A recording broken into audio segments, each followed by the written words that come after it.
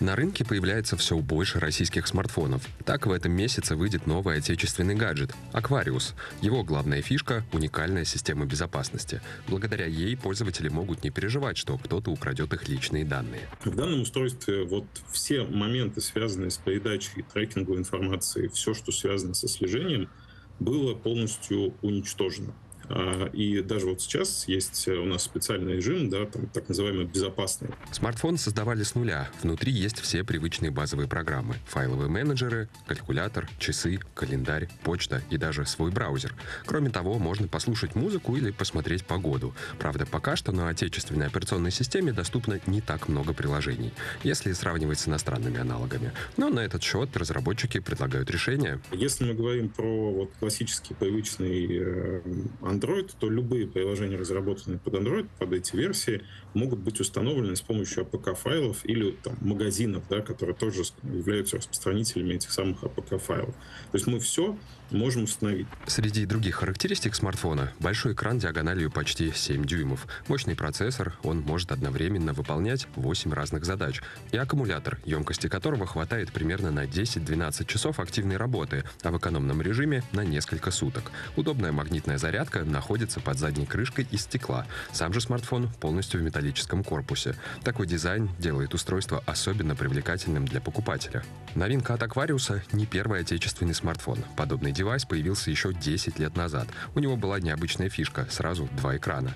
Второй экран всегда включен, но потребляет в разы меньше энергии и не портит зрение. Однако активное развитие российских смартфонов началось только в последние годы. Госсекторы крупные компании стали отказываться от иностранной техники после сообщений ФСБ о слежке за россиянами через гаджеты на базе iOS. Так, в столице уже опробовали одну из недавних отечественных новинок F+.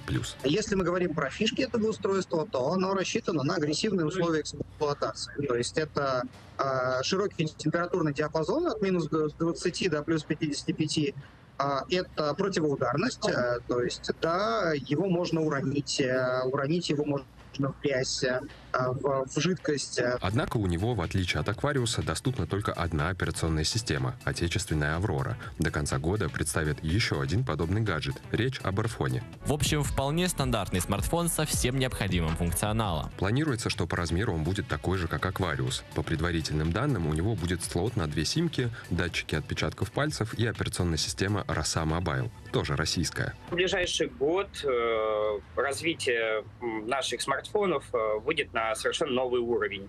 Э, сейчас активно ведутся разработки нашей операционной системы. Есть э, подвижки в производстве нашего оборудования. А, современного, а, идет заимствование, а, импортозамещение на высоком уровне.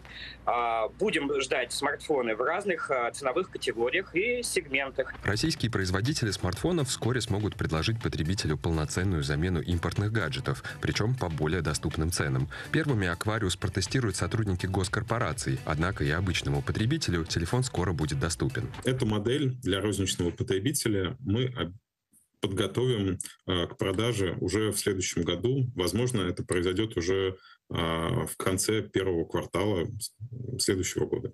В скором времени будет появляться все больше отечественных устройств, и они станут лидерами на рынке смартфонов. Сейчас у покупателей есть выбор, и каждый сам решает, какому производителю отдать свое предпочтение.